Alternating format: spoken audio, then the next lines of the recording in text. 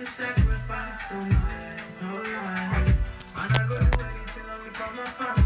I got the thing to make your body do the no.